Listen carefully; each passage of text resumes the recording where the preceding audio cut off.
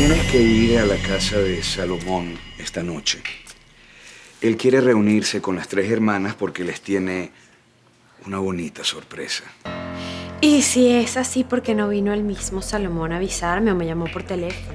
Yo estoy aquí por mandato de él. Si quieres llamamos y averiguamos. No, no, no lo llame. Yo iré. Dígale que nos vemos esta noche en su casa. Y si eso es todo, Julio, váyase. Ya. ¿Ya? Sí, sí. Sí, claro, voy saliendo por allá. Nos vemos ahí. Ay, me van a tener que disculpar porque voy a tener que salir. Hola, Pelusa, qué sorpresa. ¿Tú por aquí? Mm, Bueno, vine porque Julio me citó. No, no lo tomes a mal, me encanta, me encanta verte, pero lo que me parece raro es que Julio esté citando gente en esta casa. Julio hizo un gran trabajo para mí. Y gracias a él, esta noche vamos a tener una gran sorpresa. Ah, sí. Y se puede saber qué va a pasar esta noche. Esta noche te voy a demostrar que tu hermana menor está viva. Ven a mi casa. La Adelante. casa está burda de fina. ¿Pero qué hacemos aquí? ¿Fue idea tuya, Inmaculada? No, en realidad fue idea de Salomón. Sí, supongo, porque fue su abogada quien nos dijo que era importantísimo estar acá. Yo entiendo menos, pero bueno, ya estamos aquí. Ustedes dirán. Bueno, las invité porque quiero darles una noticia muy importante y que es buena para todos. Y quería que todas las personas que tienen algo que ver con ella estuvieran aquí. ¿Y esto? Esto se trata de, de nuestra hermanita menor. Salomón quiere demostrarnos que no está muerta. Vino para todos, menos para la pelusa que está embarazada. Nosotras tampoco bebemos. Ah, entonces ponche para ellas también. Ponche de frutas. Salomón, me parece muy innecesaria esta espera. Si tú armaste esta función, termina de ejecutarla ya. Mi amor, por favor. Ven, ponte a mi lado. Al lado de tu marido. Ven.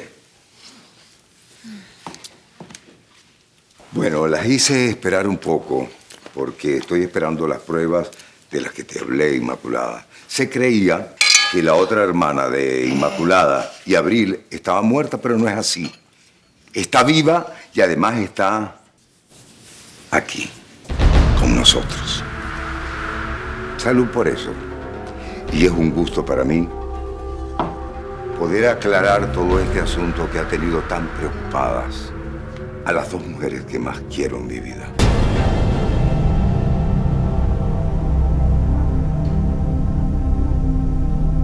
No entiendo, ¿qué es esto aquí, papá? Tú también tienes que ver con toda esta reunión. Ven acá, mi amor. Julie, no ocurre nada malo. Pero quédate aquí a mi lado, por favor. Señores, estas son las pruebas que estaba esperando. Las pruebas que determinan quién es la hermana de Inmaculada y Abril. Que es una persona que está en esta sala. Es una de ustedes. Y por supuesto no está muerta. Salomón, termina ya No, la no, tortura. no, no, se Por puede, favor. Se puede medio ver, pero es cuando yo digo. ¿Por qué será que no te creo nada, Salomón? Tú lo que quieres es atormentarnos. Tú estás jugando con nosotras. Por eso es que yo estoy aquí, ¿verdad, Salomón? Por eso fue que tú me escogiste para que fuera como tu hija, porque yo soy la hermana menor de ellas. Por eso fue que te atravesaste en mi vida. No, hija. Tú no eres la hermana de ellas. Lo lamento, pero tú no eres.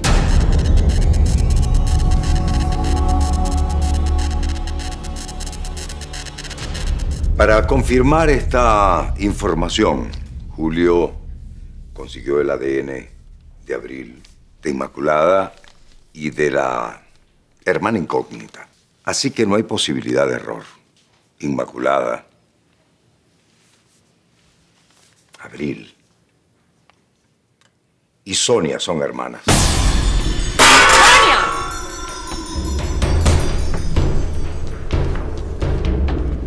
No puede ser.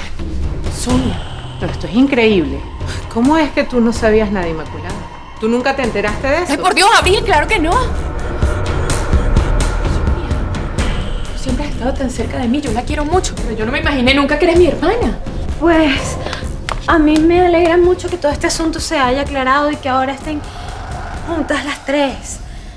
Yo no me alegro de nada. Usted, usted no tenía derecho a develar este secreto que yo tenía también guardado. ¡Pedro! Tú no te vas, tú te quedas. Tú sabías, por lo que dijo Sonia, que todo esto estaba pasando. Y nunca me lo dijiste. ¿Por qué? Lo único que le puedo decir que sospechábamos que Sonia era la hermana que usted siempre había buscado, pero no estábamos seguros. Aunque muchos datos coincidían, no teníamos manera como confirmarlo. Hasta que hoy se dio todo esto. Permiso. Voy a estar con mi esposa. Yo una vez lo sospeché. Cuando fuimos a, al taller mecánico para preguntar sobre nuestra hermana. Ese hombre me contó sobre el posible abuso que había sufrido esa niña. Sonia reaccionó como si todo eso le hubiese pasado a ella. Qué barbaridad. Las tenían tan cerca y no pudieron verla. Estaban más preocupadas por ustedes que por ella. No seas necio, Salomón. Quiero que por favor quede bien claro que no hay la menor duda de los resultados de las pruebas. No hay duda del parentesco, Julio. Tú tenías que haberlo sospechado. Tú sabías, Inmaculada. Por eso la tenías trabajando como tu asistente personal. ¡Que no, Abril! ¡Que no! Que yo misma no salgo de mi asombro. Ahora hasta me siento culpable por no haberlo sospechado nunca. Te lo juro. No lo sabía. Bien bello, pues. Todo les quedó rechupete. Pero ¿será que alguien me puede explicar qué corneta estamos tocando aquí, Sofía, Julie y yo? Janet, por favor, deja la necedad. Así que agarren sus cosas y nos vamos. No, no, no, papá. Janet tiene razón. Este señor aquí nos tiene que explicar por qué nos invitó a nosotras si no tenemos nada que ver en esto. Porque al principio creía que eras tú, la hermana menor de Inmaculada. ¿Usted se volvió loco? Sí, me pareció que eras demasiado joven. Y se lo comenté a Julio. Y él se encargó de aclararme el asunto. Se ofreció a despejar toda esta situación. Pero de todas maneras me pareció divertido que estuvieran aquí para que los demás pensaran, como yo, que eras tú. Bravo. Buenísimo le quedó el showcito, pero para la próxima búsquese a otras payasitas, porque yo no pienso venir más a esta casa. Vamos, muchachas, que Rosario nos está esperando en el carro. Me debes una inmaculada. Yo no soy mona de nadie y lo sabes. Janet, yo no sabía nada. Después hablamos. Que ahorita andas enrollada con tu asistente, que ahora resulta que es tu hermana. Estás viendo lo que haces. Estás viendo lo que haces, la ridiculez que acabas de hacer. Mi hija se molestó con toda la razón. Y tomando en cuenta que todo esto es bien alado por los cabellos, no valía la pena. Pero qué mal agradecida. Les encuentro a su hermana. Van al cielo y van llorando. De verdad que el tiempo las ha vuelto más ingratas que nunca. Yo no salgo de mi asombro. No lo puedo creer, pero Sonia se debe estar sintiendo muy mal con lo que pasó. Creo que es mejor que yo también me vaya. No, no, Pelusa, ven acá. Tú quédate porque tú siempre vas a ser una hermana para nosotras. Permiso. Si se lo permiten, Sonia quiere hablar con ustedes, ahora como sus hermanas que son.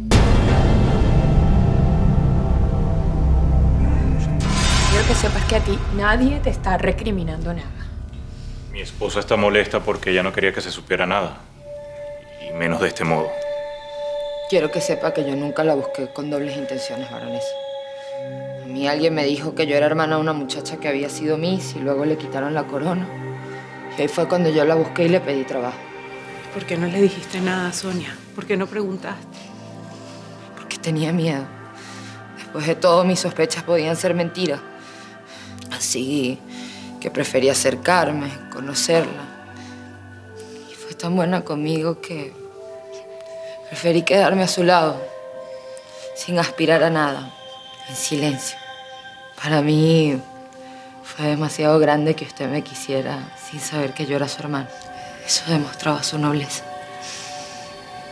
Por eso le juro que yo no quiero su dinero. Yo solo quería estar a su lado. Sonia, pero... Fueron muchos años. Tú sabías que yo te buscaba. ¿Por qué nunca me dijiste nada? Yo te hubiese recibido con los brazos abiertos, con el corazón, como lo estoy haciendo ahora. Por eso justamente. Pasó el tiempo y me convencí que era imposible que fuéramos hermanos. Así que hablé con Pedro y le dije que olvidáramos el asunto. Igual nos queríamos mucho. Yo siempre te quise, Sonia. Yo no sabía por qué, pero yo te quería. Siempre te quise. ¿Cómo íbamos a sospecharlo, Sonia? ¿Mm? ¿Cómo? Te teníamos tan cerca. Qué bonito. Muy bonito. ¿Por qué me miras así?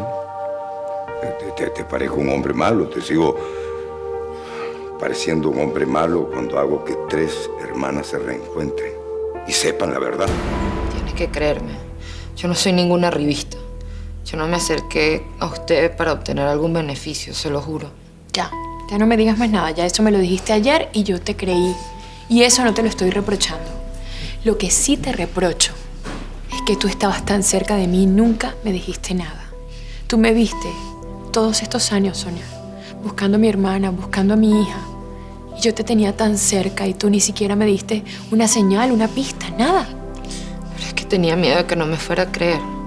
¿Cuántas muchachas yo no vi que vinieron acá, cada una con un cuento distinto, diciendo que eran sus hermanas? Yo no quería que usted creyera que yo era una más de ese montón. Qué tonta. Yo nunca hubiese pensado eso. Además, con hacerte una prueba de ADN bastaba. Bueno, ya.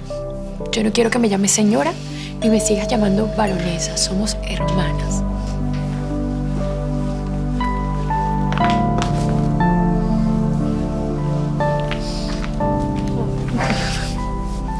Hoy cuando me levanté, lo primero que, que me dije fue que quería venir a verlas, a mis hermanas, a mis hermanas menores. Ay, gracias, Dios mío, gracias, gracias por esta dicha, por este milagro.